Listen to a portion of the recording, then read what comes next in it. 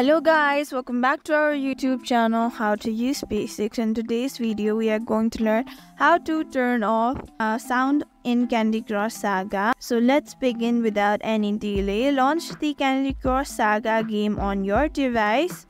From the main game screen, look for the gear icon usually located at the bottom right corner of the screen which is the setting menu. Tap on the gear icon. In the settings menu, you'll find the option of music and sound effect and vibration. Uh, to turn off the music, tap on the musical icon or toggle the switch next to the music so it appears muted or off. To turn off the sound effect, tap choose close the settings menu after uh, muting the sound and music.